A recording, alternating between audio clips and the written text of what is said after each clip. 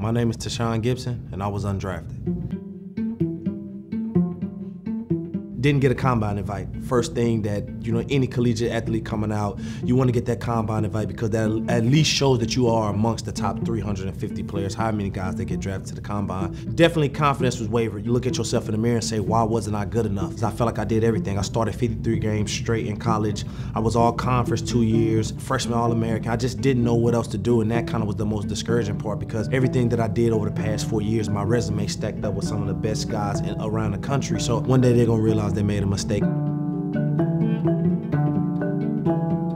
I literally watched every single pick. My emotions were so high. That joyous moment that you say, my name is about to be called, my dream is about, about to be fulfilled. And you know, you feel like that person who never got the prom date. And in a sense, like you just want somebody to just pat you on the back and say, you know, hey, we're interested in you.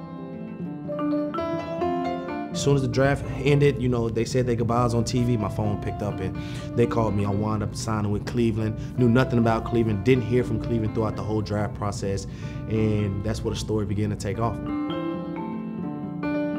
And I'll never forget my first rookie minicamp. It, it was just a blur. I remember calling my mom and saying like, hey man, I feel like undrafted free agent. Maybe I wasn't deserving of getting drafted. And I actually contemplated, man, just walking away from the game. It's just so much more than what's in between the white lines. And I think that as a young 21 year old kid coming out of college, you know, that was the hardest thing to try to figure out and try to understand about how this thing worked with these 90 man rosters and things like that. You have guys who have whole families who's gonna do anything and everything to make this team.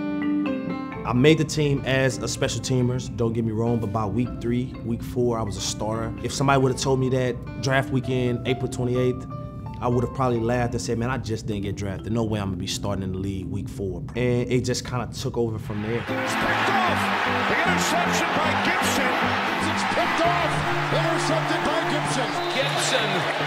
Comes away with it. Anytime people see my name, they will call me the former undrafted guy before they call me the former Pro Bowler. And honestly, I wear that as a badge of honor because it's like I've had the success that I've had being an undrafted player. I was the first undrafted safety DB out of my draft class to make the Pro Bowl. And I think that I was placed to be undrafted free agent and I was placed in the city of Cleveland. I wouldn't trade my experience. I would be an undrafted free agent if you could tell me how my career panned out like this over being a first round draft pick any day.